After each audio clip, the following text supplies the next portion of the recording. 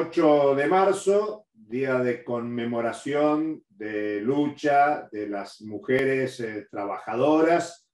y extensivo en este último tiempo a las mujeres y la diversidad. Es una lucha contra la discriminación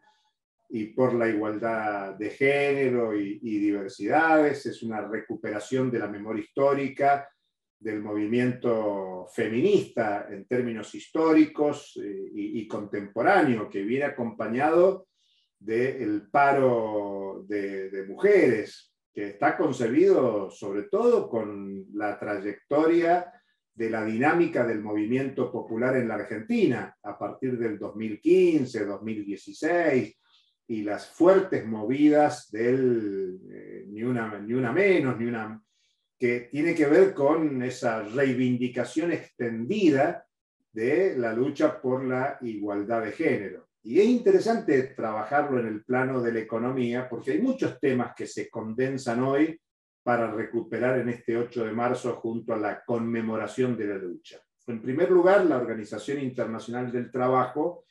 ha sacado en estas horas documentos muy importantes marcando que el, tema de la discriminación de género es, muy importante, sobre todo en materia de la cuestión de cuidado,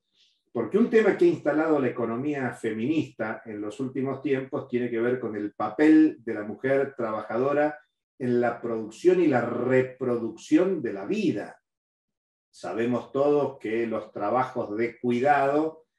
eh, de niños, de la ancianidad, de la familia, en general están concentrados mayoritariamente en el trabajo femenino no remunerado, que supone una superexplotación de la fuerza laboral femenina, que está superexplotada en el ámbito de la producción, en el ámbito de la actividad productiva y obviamente se acrecienta con los trabajos de cuidado en lo que tiene que ver con la reproducción de la vida. Por eso es tan importante que la Organización Internacional del Trabajo esté poniendo el acento formalmente en los trabajos de cuidado y cómo impulsar y generar políticas que contrarresten la discriminación de género que existe en todo el mundo. Y en la Argentina, Acaba de salir un informe muy interesante del Ministerio de Economía, o sea, datos oficiales que tienen que ver con la recuperación económica argentina del 2021 y destaca, enfatiza, que esa recuperación económica no es igual para hombres y para mujeres. Y es interesante porque hay referencias a que si bien el 2021 21 tuvo una recuperación del 10,3% de la economía y que tuvo una recomposición del empleo y de ingresos de algunas categorías de trabajadores, sobre todo el sector privado, que está en convenios colectivos. No ocurre lo mismo para el conjunto de los trabajadores y de las trabajadoras. Y agrega el informe oficial que se verifica la discriminación a las mujeres en el sentido de que los hombres, al nivel del tercer trimestre del 2021, ya habían recuperado el nivel de actividad que tenían antes de la pandemia. Algo así como el 70% de eh, nivel de actividad del trabajo de los varones. Para el caso de las mujeres, al tercer trimestre del 2021 todavía no habían recuperado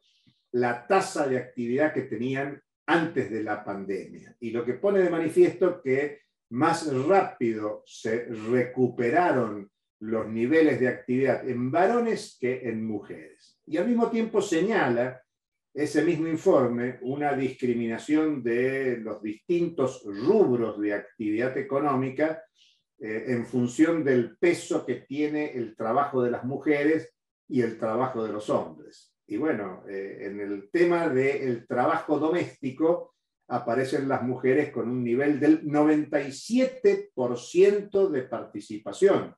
Es decir, que es mínimo la participación del trabajo de varones en eh, el trabajo doméstico. Y es precisamente el trabajo doméstico uno de los sectores que reconoce mayor nivel de informalidad y uno de los sectores más afectados en el 2020, en tiempos de pandemia, en tiempos de cuarentena, donde se enfatiza la discriminación de género. Eh, el informe hace, hace énfasis, pone el énfasis en que la recuperación es importante, pero que eh, la pandemia afectó más a las mujeres.